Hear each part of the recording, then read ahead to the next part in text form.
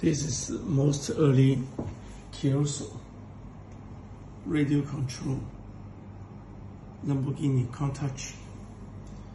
And uh, you cannot believe how rough the body and the chassis.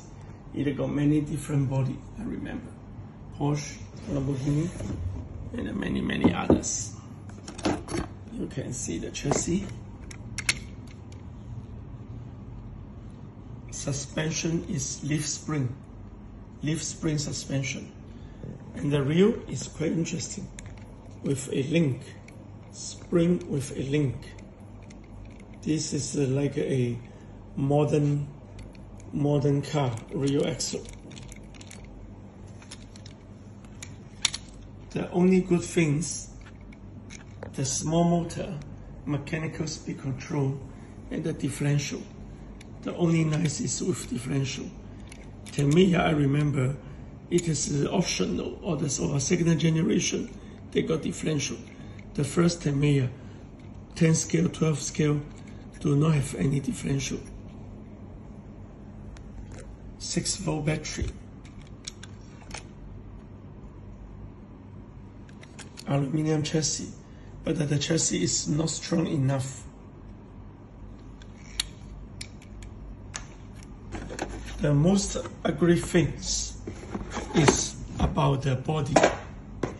You cannot imagine how rough the body compared to Tamiya realistic crust body or Lexan body on Fujimi or Nichimo. I like a Countach very much. It is one of my dream car when I'm young in 70 and 80s, Countach is really a supercar. And sure, now I got both two scale and one scale Countach. The problem is this body is really, really unbelievable rough and ugly looking. It is a Lexan body, but the, the, all the shape angle, all are wrong. But the Kyosho later also improved a lot for the racing car. Leaf spring suspension. And uh, if you go to see the Tamiya, the body, it is so nice. The black one is not the Tamiya.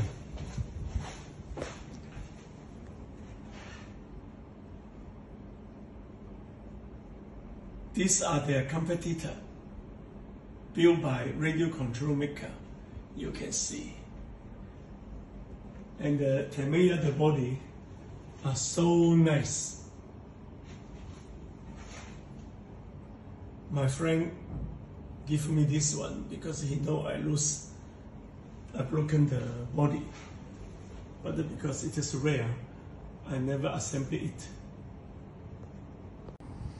if you compare Tamiya body, for sure, they are not the same class.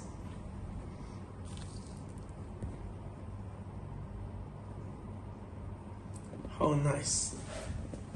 And you can see the Kyosho, everything are wrong. Angle wrong, wheel arch wrong, size wrong, scale wrong. It is quite interesting for you to see some history radio control RC key.